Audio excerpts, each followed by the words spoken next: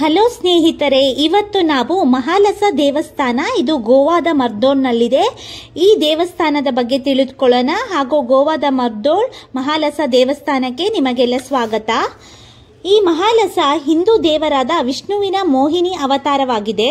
ಆಕೆಯನ್ನು ಮಹಾಲಕ್ಷ್ಮಿ ಮತ್ತು ಮಹಾಲಸ ಎಂದು ಕರೆಯುತ್ತಾರೆ. ಮಹಾಲ್ಸ ದೇವಾಲಯವು ಭಾರತದ ಗೋವಾದ ಮರ್ದೋಳ್ ಪೋಂಡಾದಲ್ಲಿ ನೆಲೆಗೊಂಡಿದೆ.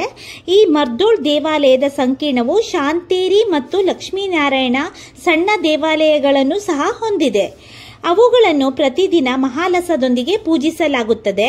ಈ ದೇವಿಯ ಮುಖ್ಯ ಗಣಗಳಾದ ಗ್ರಾಮ ಪುರುಷ, ಭಗವತಿ, ದತ್, ಸಿಂಹ ಪುರುಷ ಮತ್ತು ಸ್ಮಾಲ್ ಪುರುಷ ಸಹ ಅವ, ಅವರುಗಳನ್ನು ಸಹ ಈ ಆವರಣದಲ್ಲಿ ನೆಲೆಗೊಂಡಿದೆ. ಮತ್ತು ಮುಖ್ಯ ದೇವತೆಯನ್ನು ಪೂಜಿಸುವ ಮೊದಲು ಈ ಎಲ್ಲ ದೇವತೆಗಳ ದೈನಂದಿನ ಪೂಜೆಯನ್ನು ನಡೆಸಲಾಗುತ್ತೆ.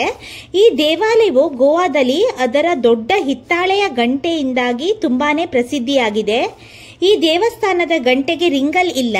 ಯಾರಾದರೂ ಸಾಕ್ಷಿ ಹೇಳಲು ಬಯಸಿದಾಗ ಮಾತ್ರ ಈ ರಿಂಗರ್ ಅನ್ನು ಹಾಕ್ತಾರೆ. ಗಂಟೆ ಬಾರಿಸುವಾಗ ಸುಳ್ಳು ಹೇಳಿದ ವ್ಯಕ್ತಿಗೆ ದೇವಿ ಶಿಕ್ಷೆ ನೀಡುತ್ತಾಳೆ ಎಂಬ ನಂಬಿಕೆ ಈ ದೇವಸ್ಥಾನದಲ್ಲಿದೆ.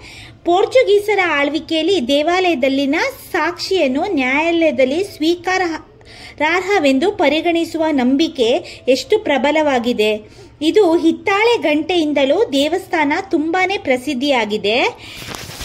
ಈ ದೇವಸ್ಥಾನದಲ್ಲಿ ರಿಂಗಲ್ ಇರೋದಿಲ್ಲ ಈ ಗಂಟೆಯಲ್ಲಿ. ಆದ್ರಿಂದ ಈ ರಿ- ಈ ಗಂಟೆ ತುಂಬಾನೇ ಫೇಮಸ್ಸು ಬೆಂಗಳೂರಿನಿಂದ ಗೋವಾದ ಮರ್ದೋಳ್ಗೆ ಈ ದೇವಸ್ಥಾನಕ್ಕೆ ಹೋಗಲು ಒಂಬತ್ತು ತಾಸು ನಲವತ್ತೇಳು ನಿಮಿಷಗಳು ಬೇಕಾಗತ್ತೆ.